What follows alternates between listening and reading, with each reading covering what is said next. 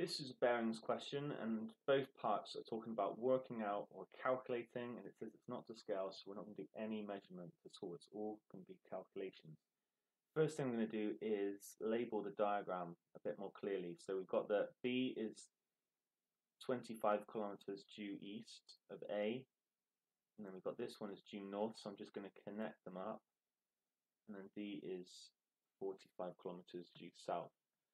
So 25, 25, 45, and this is a right angle. Work out the bearing of B from C.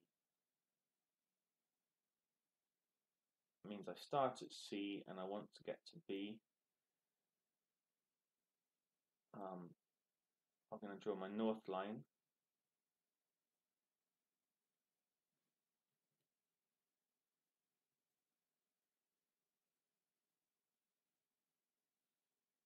Okay, and then I want this angle here.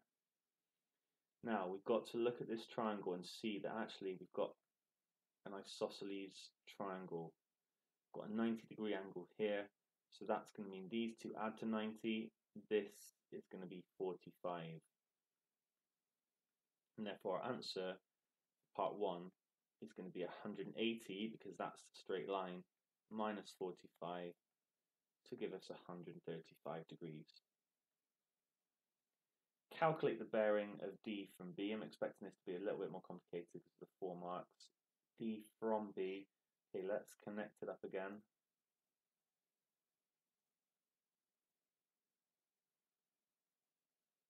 I'm going to put my north line in again.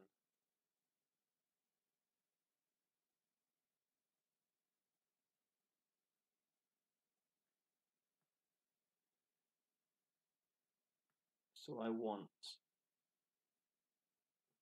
B, I want, starting at B, I'm going to D, I want this angle here. Okay, um, how can we do this? Well, we know again that we've got a right angle here.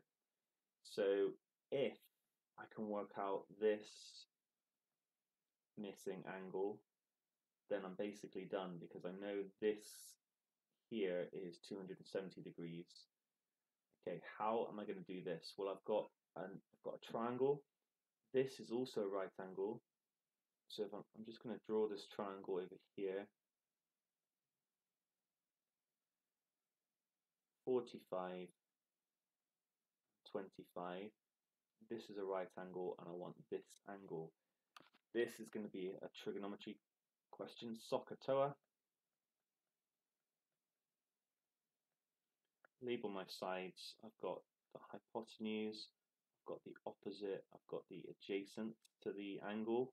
So what do I need to use? I'm going to be using TOA and I can write down that tan, let's call it x,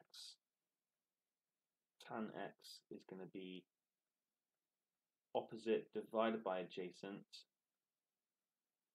So x is going to be inverse tan this.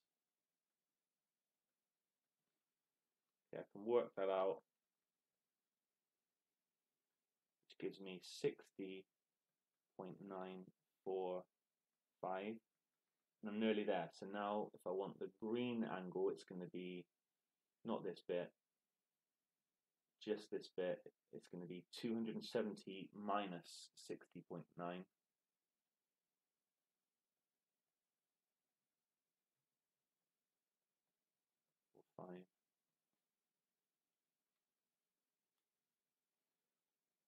And I get 209.05. It doesn't say how to round it, but let's round it. It's very close to 209, so let's round it to three significant figures. 209.